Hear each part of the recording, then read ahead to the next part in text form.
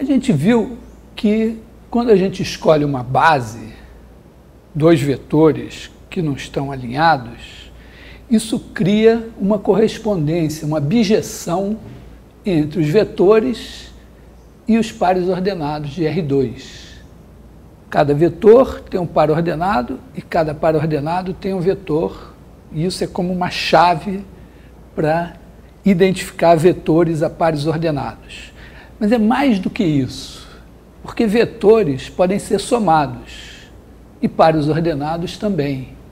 E essa bijeção garante que quando eu pego o vetor U, que tem o par ordenado U1, U2, e o vetor V, que tem o par ordenado V1, V2, então o vetor U mais V vai ter o par ordenado U1 mais V1, U2 mais V2.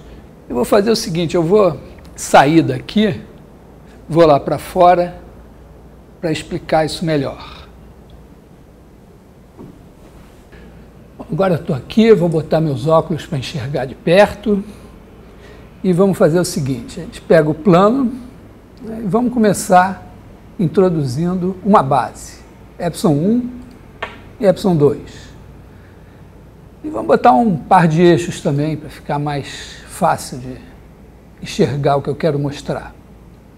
Na verdade, eu vou até tirar o Epson 1 e o Epson 2 para eles não ficarem atrapalhando. É só para saber que eles foram os responsáveis por existirem esses eixos.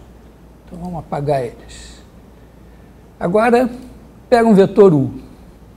O vetor U tem suas coordenadas, são os números U1 e U2.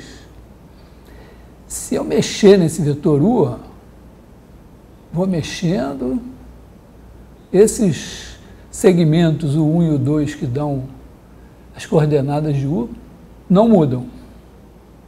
Vou trazer o U aqui de volta para a origem. E agora vamos colocar um outro vetor V. O V também vai ter suas coordenadas. Olha lá as coordenadas do V, que também se movem quando eu movo o V, mas continuam sempre do mesmo tamanho. Então, ó, se eu for somar U com V, eu coloco aqui direitinho o V na pontinha do U e as coordenadas se somam.